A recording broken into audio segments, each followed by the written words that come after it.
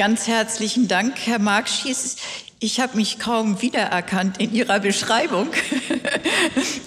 es gibt schon eine gewisse Ordnung in der Vielfalt, aber da Sie einen Strauß ausbreiten können wie kaum ein anderer, nehme ich den dankend entgegen und begrüße Sie alle ganz herzlich heute hier im Saal zum Sophie Charlotte ähm, Herr Markschies hatte ja schon gesagt, äh, dass ich seit vielen, vielen Jahren auch die BBAW kenne und begleite und tatsächlich dieser eingeschweißte, dieser eingeprägte Termin im Januar, also eigentlich zum festen Jahresablauf gehört. Insofern ist das heute eine schöne und neue Variante, dass wir uns im Mai hier sehen und heute in diesem Saal, im Leibniz-Saal, uns mit der Thematik fragiles Leben auseinandersetzen. Und meine Damen und Herren, ich freue mich sehr, dass wir ganz verschiedene Aspekte des fragilen Lebens über diesen Abend ein bisschen weiter hinterleuchten werden.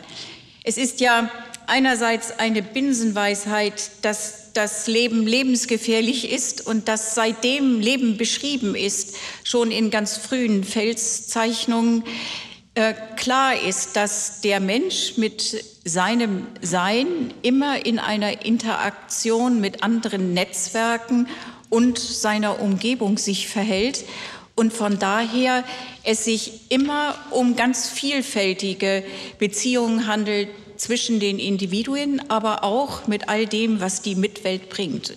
Und wenn wir das im Hier und Jetzt jetzt sehen, mit den vielen Herausforderungen, die wir tagtäglich erfahren, sei es die Klimakrise, die spürbar wird mit Temperaturen im Mai, die teils sehr, sehr hoch sind, und der Gewissheit, dass sie in wenigen Jahrzehnten noch mal höher sein werden, also um sehr, sehr viel mehr Grad höher, die auch letztendlich durch den Menschen verursachte Corona-Pandemie, Herausforderungen wie jetzt der Krieg in der Ukraine, sind solche, die unsere politischen Ordnungen und Gewissheiten einerseits erschüttern und andererseits es uns doch manchmal schwer machen, den Weg zu finden, wie wir das, was wir brauchen, um zu existieren, auch für eine Zukunft und für die nächsten Generationen wirklich bewahren können. Hier geht es heute tatsächlich um eine Suche mit ganz unterschiedlichen Pfaden, die beschritten werden in den Veranstaltungselementen nach adäquaten Formen des Zusammenlebens und auch nach Möglichkeiten des Gestaltens für die Zukunft. Das angesichts auch der, des Endes des Lebens, wie beispielsweise ein Block, der sich mit Leben angesichts des Todes befasst, so dass wir ein sehr, sehr vielfältiges Programm haben, von Beginn des Lebens über wissenschaftliche und politische und wirtschaftliche Vermessungsversuche des fragilen Lebens, aber genauso künstlerische und literarische Reflexionen hier ähm, erprobt werden. Ich möchte jetzt die Zeit schonen für das, was andere Ihnen präsentieren. Und deshalb ganz kurz zur Überleitung des ersten, zum ersten Programmpunkt kommen, der sich vor allem um den Themenkomplex Mensch und Natur ähm, fokussiert.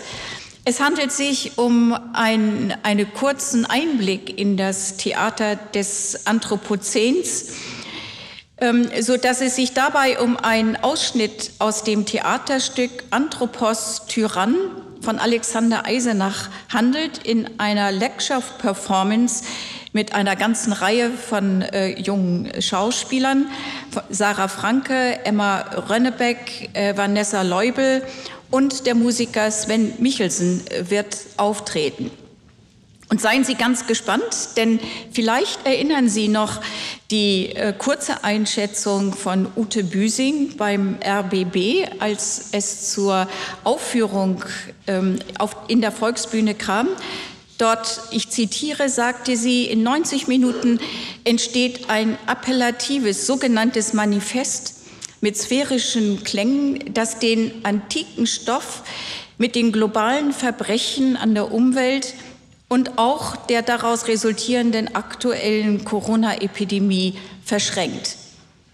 Seien Sie gespannt äh, auf den Einblick. Etwas genaueres kommt dann in dem zweiten Slot einer Diskussion ähm, mit Alexander Eisenach und äh, Antje Boetius. Wir schauen mal, wie wir dort dann ein bisschen weiter dahinter blicken, wenn Sie einen ersten Einblick genossen haben. Dankeschön.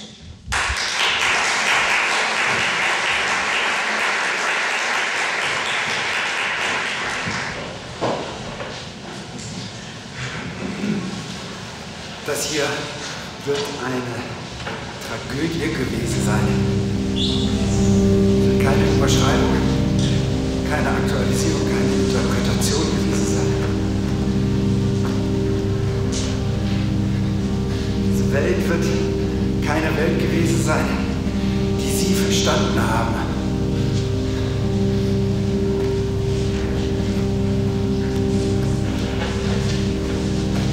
Tragödie wird keine Welt gewesen sein, die sich durch Betrachten oder Erkennen verstehen ließe.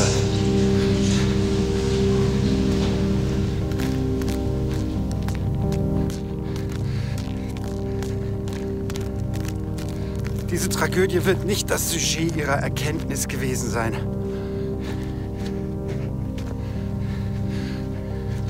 Manche sagten, die Tragödie sei tot, sei keine Zeit mehr für eine Tragödie.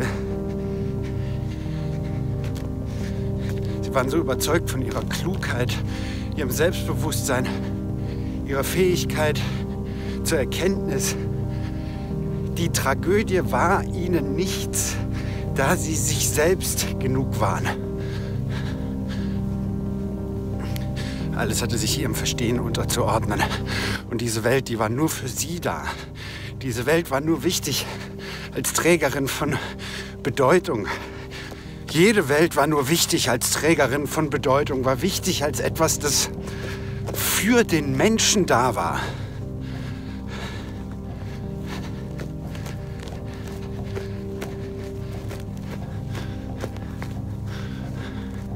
Der Mensch wurde zur ordnenden Kraft der Dinge, zum Anthropos, der nicht länger Gegenstand des Lebens sein wollte, sondern Herrscher.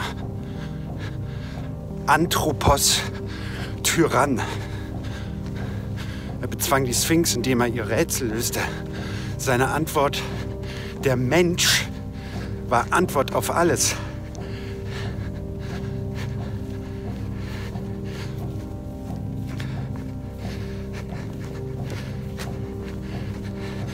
Sphinx musste weichen, wie alle anderen Kreaturen auch. Die Stadt war erlöst und der Rätsellöser wurde ihr Herrscher. Der Anthropos lebte von der Hoffnung. Sie war die wesentliche Kategorie, die er seinem Verstehen und Erkennen hinzufügte. Ja, er verband sogar sein Verstehen mit seinem Hoffen und stellte einen kausal-logischen Zusammenhang zwischen beidem her, als leite sich die Zukunft des Lebens notwendig aus seinem Denken ab. Das Leben, die Welt, die Wirklichkeit war zu einer Bühne geworden, die, auf die man von außen schaute.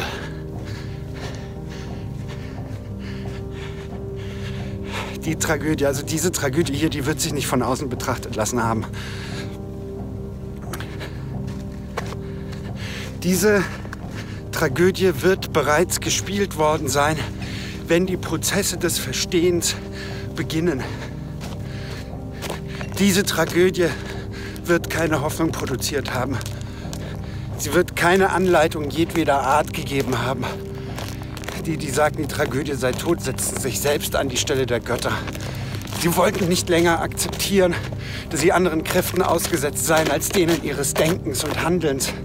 Sie setzten ihr Bild, ihr Verständnis von der Welt absolut und befreiten sich aus dem Wechselspiel der streitenden Götter, den Kräften des Schicksals, die um sie kämpften. Herrscher meines Landes, Ödipus, Bezwinger der Sphinx, Rätsellöser, hilf uns. Wir liegen nieder, die Stadt schwankt, schwankt im Sturmgewoge und kann den Kopf nicht mehr erheben aus dem Meer an Katastrophen. Das Wasser steigt an unseren Küsten. Im Inland herrscht Dürre. Es gibt keine Jahreszeiten mehr, nur noch Naturkatastrophen. Gaia hat sich gegen uns verschworen. Wir haben keine Erde mehr, keinen Boden, keinen Grund, der unsere Füße trägt. Die Vögel sterben, die Insekten, die Wälder und schließlich die Menschen. Wir. Wir schmecken den Tod aus der vormals fruchtbaren Erde. In Eingeweiden Feuer entzündet sich und leert die Häuser. Krank ist das ganze Volk und nicht zur Hand des Denkens schwert, sich damit zu wehren. Zahllos die Toten. Die Stadt stirbt hin. Und unbetrauert liegen ihre Söhne am Boden. Tod verbreitend, unbeweint. Wir halten dich zwar nicht für einen Gott, aber immerhin für unseren Souverän. Du kannst uns retten. Du kannst die Stadt wieder aufrichten. Du, du hast das Rätsel der Sphinx gelöst. Löse auch dieses. Hallo? Hallo? Hallo?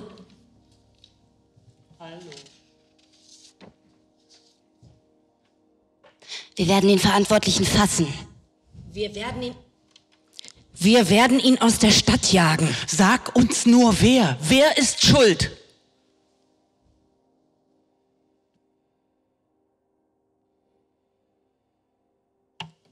Warum antworten die nicht? Die antworten einfach nicht. Vielleicht können sie uns nicht hören? Natürlich können die uns hören, die sind doch direkt da. Vielleicht soll uns ihr Schweigen etwas sagen. Wie bitte? Was soll uns ihr Schweigen denn jetzt hier sagen? Dass wir jemand anderes fragen müssen zum Beispiel? Aber wen? Ja, wen? Ja, wen? Ja, wen? Das Orakel. Das Orakel von Delphi? Das ist eine fabelhafte Idee. Auf. Auf zum Orakel. Das Orakel wird uns sagen, wer schuld ist an der Misere.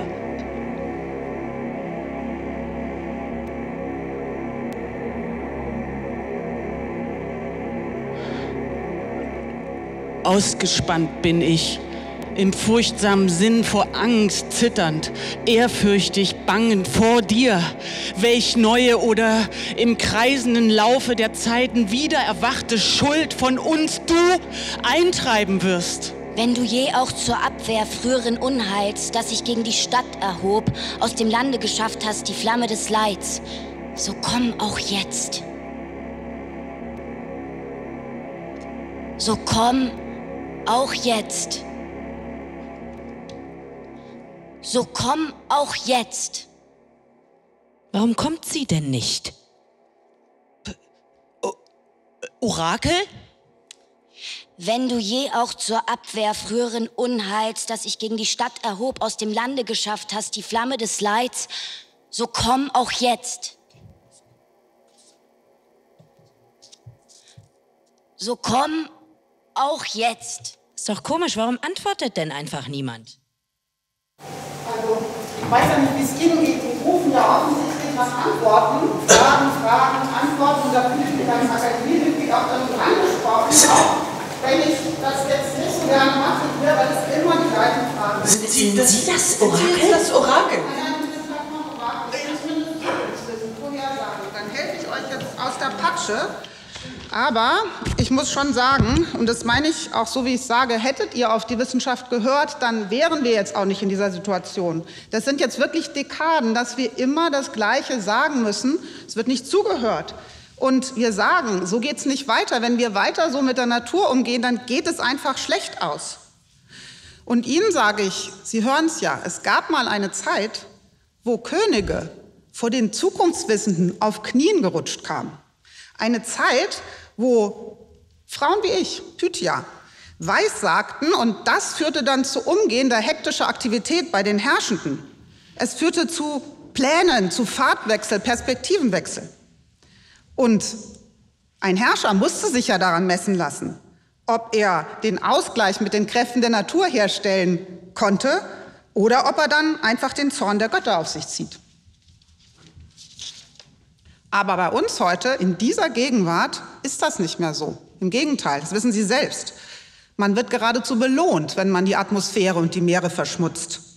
Und wenn man die Ausbeutung von Mensch und dem Planeten perfektioniert, dann wird man, nur dann wird man Wirtschaftsmacht. Und deswegen bin ich es als Wissenschaftlerin manchmal auch leid, diese Fragen, Fragen, Vorhersagen, Zukunftswissen, Lösungswissen und dieses ganze Reden darum. Dann sage ich mir, gehe ich doch lieber wieder forschen. Ich bin Erdsystemforscherin und das ist so spannend, einfach die Rätsel des Planeten Erde zu lösen. Das ist so, dass ich mir dann sage, wenigstens habe ich nicht weggeschaut. Ich habe schwindende Landschaften dokumentiert. Ich habe ihnen ein Gedächtnis gegeben für immer, wenn sie schon längst nicht mehr da sind. Ich habe eindeutig gezeigt, dass unser Handeln Spuren in der Haut der Erde hinterlässt, und zwar für immer. Und das zeige ich Ihnen. Ich habe Ihnen nämlich auch was mitgebracht hier um die Ecke aus dem Archiv. Ein Bohrkern. 1,5 Millionen Jahre sehen Sie hier. 1,5 Millionen Jahre, das ist genau die Zeit, seit der wir Menschen mit dem Feuer spielen. Und schauen Sie mal, hier ist alles drin bewahrt in der Haut der Erde. Ich reise mal hier hin, da 1950, hier, Fallout, Atomtests. Für immer da. Hier haben wir uns markiert. Great Acceleration. Und dann nur ein bisschen weiter, da wo es so funkelt, Plastikschicht. Die Haut der Erde bedeckt mit Plastikschicht. Und das geht auch nicht mehr weg. Und dann gehen wir hier noch mal ein bisschen weiter. Ruth, da haben wir 2050 einfach auch noch den Rest der Kohle verbrannt in die Atmosphäre. Dann ist es richtig heiß geworden, die Wälder haben gebrannt. Dann hier diese Schlammschicht da, dann ist dann der Meeresspiegel gestiegen, eine riesige Flut. Dann geht es immer so weiter und weiter. Entschuldigung, dass ich Sie jetzt unterbreche, aber ich glaube, Sie können uns helfen. Ja, wie soll ich noch helfen, außer mit diesem Wissen? Äh, uns ist die Sprache abhanden gekommen, die Sprache dem hier Ausdruck zu verleihen. Dem hier? Ja, wir, wir fragen uns, wie es möglich ist, politisch zu handeln, auch wenn wir nicht alles verstehen, was passiert zwischen uns und den anderen Kräften der Erde. Politisch handeln, das haben Sie eben gehört. Also ihr, die letzte Generation, ihr wollt politisch handeln, aber ihr seid die, die gerade noch eben Korallenriffe seht, bevor sie von ihren Symbionten verlassen werden, bevor sie erbleichen, weil die Meere zu warm und zu sauer geworden sind.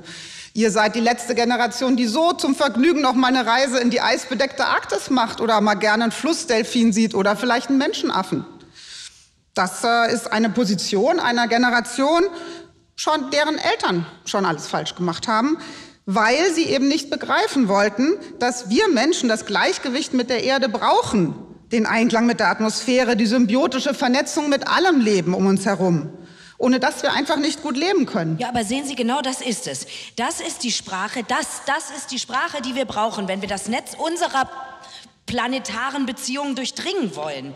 Wir wir haben die Sprache verloren, das zu beschreiben. Aber Ihre Sprache, die Sprache der Wissenschaft, das ist die wahre Sprache der Tragödie. Nein, die Tragödie ist die wahre Sprache der Wissenschaft.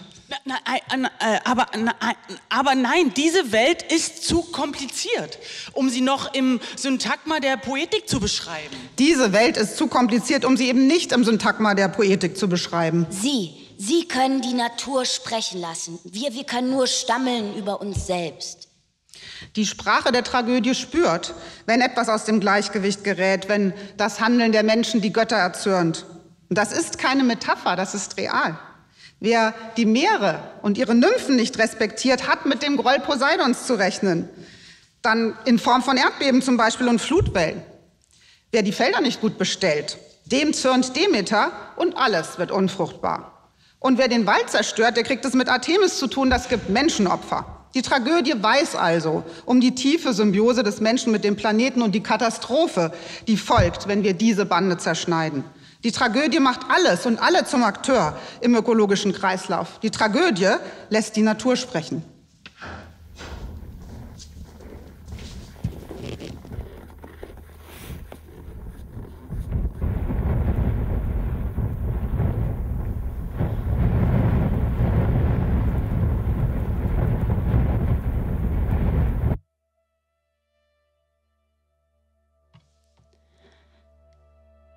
Da ich noch ein stilles Kind war und von dem allem, was uns umgibt, nichts wusste, war ich da nicht mehr als jetzt, nach all den Mühen des Herzens und an all dem Sinnen und Ringen?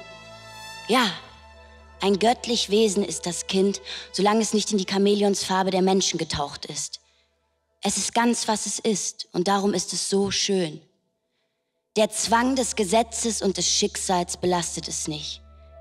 Im Kind ist Freiheit allein, in ihm ist Frieden. Es ist noch mit sich selber nicht zerfallen, Reichtum ist in ihm. Es kennt sein Herz, die Dürftigkeit des Lebens nicht. Es ist unsterblich, denn es weiß vom Tode nichts. Aber das können die Menschen nicht leiden. Das Göttliche muss werden wie ihrer einer, muss erfahren, dass sie auch da sind. Und ehe es die Natur aus seinem Paradiese treibt, so schmeicheln und schleppen die Menschen es heraus auf das Feld des Fluchs, dass es, wie sie, im Schweiße des Angesichts sich abarbeite. Warum?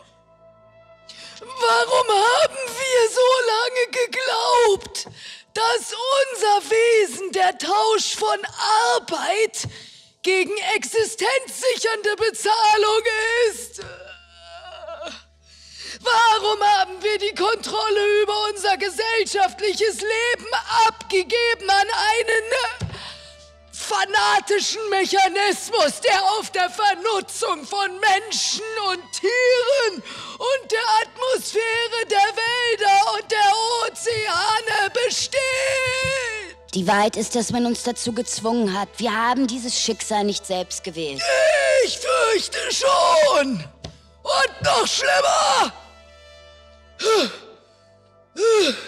Jetzt wo wir alle mittendrin stecken, scheinen wir keine Fantasie mehr zu entwickeln oder entwickeln zu können, wie wir aus dieser Nummer hier wieder rauskommen. Nein, ich habe dieses Schicksal nicht gewählt. Ich habe mir die nihilistische Mythologie des Pri Privateigentums nicht ausgedacht. Diese Vorstellung, dass die Erde uns gehören könnte. Wir haben sie ja nie wirklich gesehen, die Erde. Sie war uns immer nur ein Acker ein Feld. Ein Acker! Naja, du weißt schon, was ich meine. Von mir aus auch die Bretter, die die Welt bedeuten. Eben irgendein Boden, auf dem wir unsere Kunststücke zur Produktion von Mehrwert aufführen. Und das ist ja mit allem so. Alles ist so unendlich durchkartografiert. Jeder Ort auf dieser Erde hat eine Funktion. Alles ist Nutzfläche. Ich finde ja gar keinen Ort mehr, der einfach nur er selbst ist. Von Menschen ganz zu schweigen. Antigone! Du Kind eines alten Blinden. In welche Gegend? In den Bezirk welcher Menschen sind wir hier geraten? Leiterfahrener Vater Ödipus. Die Mauern, die die Polis gürten, sind weit weg. Der Ort hier aber ist heilig. Solches lässt klar erahnen das Prangen von Lorbeer, Olivenlaub, Rebwerk. Und darunter drin singen so schön die starkflügeligen Nachtigallen. Halt! Stopp! Stopp! Und da sagtest er, und unbetretbar, denn die Schreckensgöttinnen haben ihn inne, die Töchter der Erde und der Finsternis. So mögen sie den Schutzflehenden doch gnädig aufnehmen. Von diesem Fleck der Erde gehe ich nicht mehr vor. Die ganze Gegend hier ist eine heilige, ist in der Gewalt des erhabenen Poseidon. Doch heimisch in ihm ist der Titanengott, der Feuerbringer Prometheus. Prometheus! Prometheus! Ich denke, das hier, das ist genau. Ich verstehe das alles nicht! Das ist genau der richtige Ort! Der, der, der, der, ah, der richtige Ort. Wofür?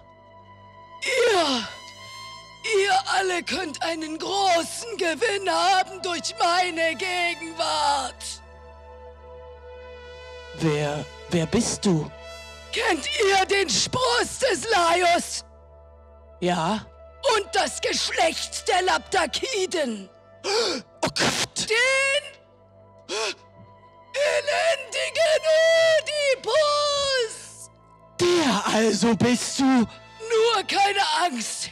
Wie gesagt, ich kann euch großen Gewinn bringen. Ab mit dir vom Ort hier, marsch weg von meinem Boden, auf dass du nicht meine Polis mit deiner Schuld verknüpfst. Wir glauben doch, wir glauben doch nur das, was wir sehen. und sind dadurch blind. Blind für alles das, was wir nicht sehen. Erst wenn wir nicht mehr sehen können, dann sehen wir das Unsichtbare. Treibhausgase, Viren, die human-animalischen Welten, die flüchtigen, pilzartigen, mikrobischen, symbiogenetischen Kontrapunkte. Dieses gewaltige Netzwerk biosozialer Weisheit, diese Dinge, sie existieren. Die große Verwandtschaft, das gigantische Rhizom. In Anbetracht des Fluches, der auf unserem Hause liegt, in Anbetracht all der Toten, auf denen wir gehen, die Erde, zu der sie geworden sind, ernährt uns. Und um uns ist die Luft, die auch um sie war. Wir atmen ihre Luft und atmen ihren Anspruch an die Zukunft. Diesen Anspruch aber haben wir verraten. Ihr Glaube an die Zukunft, ihr Glaube an uns war ein Irrtum. Theben fällt in einem letzten großen Krieg um die verbleibenden bewohnbaren Gegenden auf diesem Planeten. Ein Krieg der Nachkommen des Ödipus, des letzten Herrschers des Anthropozäns. Das ist unser letzter Winter. Niemand entkommt dieser Katastrophe. Das Überleben wird lediglich in der Verknotung der Arten seinen Platz gefunden haben, in der Rückgewinnung des Territoriums, nicht als Ort der Wertschöpfung, nicht als Ressource, sondern als Ort des Lebens für alle. Wir sind Wesen aus Schlamm, nicht vom Himmel.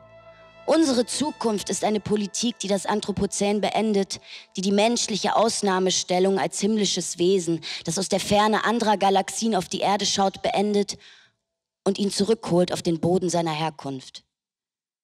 Aha. Und wer sind Sie? Ich bin Antigone. Aha. Ähm, schauen Sie, Antigone. Sie sind zu spät. Früher war das vielleicht der Ort unserer Zukunft. Zu einer Zeit, als es hier noch um Menschen ging. Aber heute, heute spielen die Menschen hier keine Rolle mehr. Schauen Sie sich um. Es sind keine Menschen mehr hier. Heute leben hier vor allem die Dinge. Die Dinge? Also normalerweise, also Üblicherweise gehen wir davon aus, dass in solchen Heiligtümern wie diesen hier Geschichten über den Menschen verhandelt werden, dass hier der Mensch in all seinen Facetten zum Leben erweckt wird und uns, dem Zuschauer, einen Einblick in seine soziale, emotionale, politische, ökonomische, gesundheitliche, intellektuelle oder was auch immer Verfasstheit gibt. Und dann, dann würden wir hier eben alle etwas verstehen über unsere soziale Verfasstheit, etwas verstehen über den Menschen, wenn es hier noch um den Menschen ginge.